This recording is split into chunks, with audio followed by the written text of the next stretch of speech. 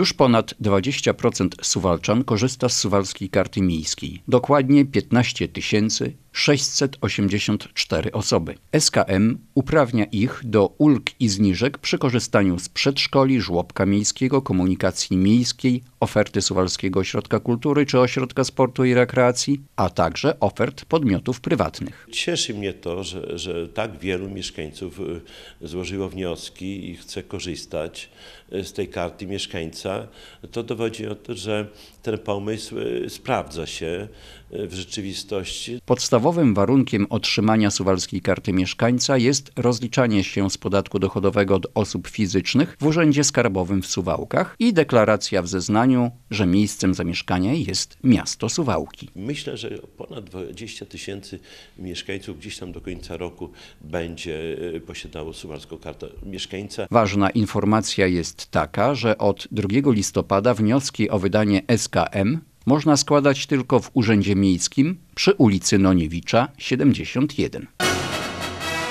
Już niedługo w Suwałkach ruszy wymiana oświetlenia ulicznego. Władze Suwałk podpisały umowę na dostawę opraw LED. Dzięki temu system oświetlenia ulicznego doczeka się dość istotnej modernizacji, bowiem wymienionych zostanie aż 2225 sztuk opraw na światło LEDowe. Inwestycja łącznie z pracami pochłonie blisko 3 miliony złotych. 65% tej kwoty miasto Suwałki pozyskało z Unii Europejskiej. Zdecydowaliśmy się, że sukcesywnie będziemy y, dokonywali zmiany oświetlenia ulicznego. W Suwałkach mamy, y, szanowni państwo, 6200 lamp ulicznych.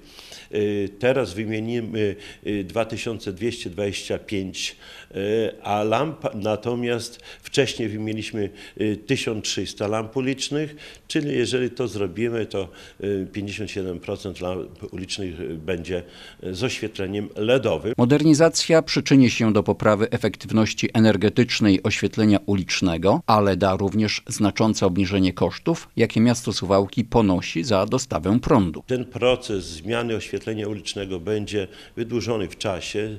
Zdecydowaliśmy się, że y, własnymi siłami będziemy to realizowali. Mianowicie mamy Zarząd Dróg Zieleni. Tam jest taka grupa, która no, ma uprawnienie, jest przystosowana do, do, do wykonywania napraw właśnie oświetlenia ulicznego i oni y, przyjęli na siebie zadanie, że y, każdego dnia będą y, wymieniać około 10 lamp ulicznych. Władze Suwałk przygotowują już kolejny projekt, by starać się o dofinansowanie z Unii Europejskiej. Jeżeli uda się je pozyskać, to wszystkie lampy uliczne w Suwałkach będą lampami LEDowymi. Z dużym zainteresowaniem ze strony Suwalczan spotkała się propozycja wykupu mieszkań komunalnych. Do tej pory zarejestrowano już 230 wniosków. Każdego dnia napływają kolejne. Ich nabór ruszył dokładnie 17 września. Rada Miejska, zresztą na mój wniosek, postanowiła, że y, uruchomimy sprzedaż mieszkań komunalnych dla najemców. Y, tych mieszkań komunalnych mamy sporo, bo mamy prawie 2200 mieszkań komunalnych w zasobach tutaj miasta Suwałki y, i wytopowaliśmy około 1200 mieszkań, które mm, będą przedstawione w ofercie dla mieszkańców do wykupu. Propozycja spotkała się z olbrzymim zainteresowaniem ze strony Suwalczan. Docelowo założono, że w latach 2019-2020 zostanie sprzedanych około 200 mieszkań.